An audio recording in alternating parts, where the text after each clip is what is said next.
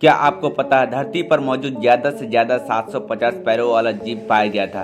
दोस्तों, अब एक ऐसा जीव मिला है जिसके बारे में जानकर आप हैरान रह जाएँगे।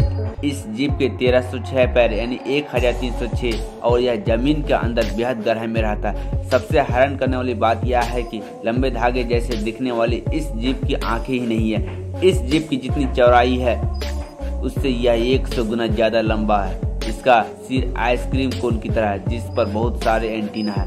वैज्ञानिक ने इस अनोखे जीव का नाम इम्यूलिप्स पर से फ़ोन रखा है। दोस्तों, इस चैनल को सब्सक्राइब ज़रूर कर लीजिए। ऐसे ही फैक्ट्स एंड अमेजिंग वीडियो लाते रहेंगे।